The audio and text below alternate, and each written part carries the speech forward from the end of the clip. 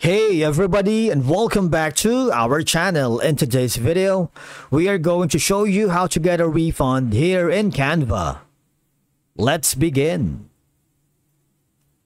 Here is a step-by-step -step guide on how to request a refund for Canva subscription or purchase. Once you're logged into your account, I want you to hover to the upper left corner and click on the uh, home page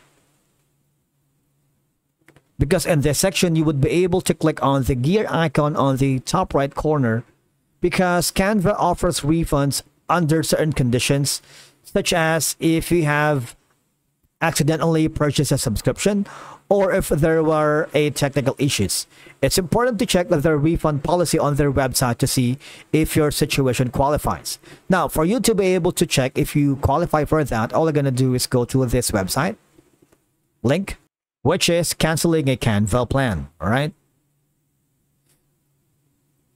Now, here, if you cancel your Canva plan, all right, you might want to go to the uh, Go Billing and Plans, which we have already done earlier. If you click on this section, you will be forwarded here. Now, locate your subscription. You'll see details about your current subscription, payment history, and invoices. All right, if you have that already here. You see that? Now, in the billing section, you'll see details about your current subscription. And if you see an option to cancel next to your subscription, you can cancel it.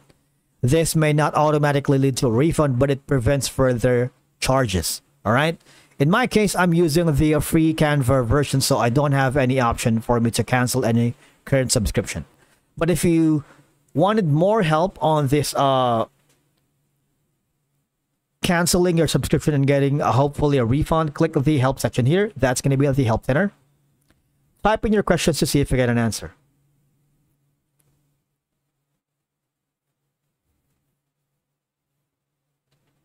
Press enter.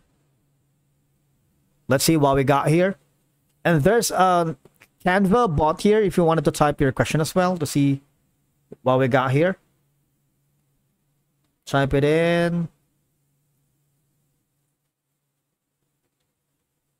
And of course, once you get a hold of the support staff, they will give you insights and troubleshooting steps on how to potentially get a refund or of course to cancel your subscription if you're encountering any problems all right? You see that? You can load more.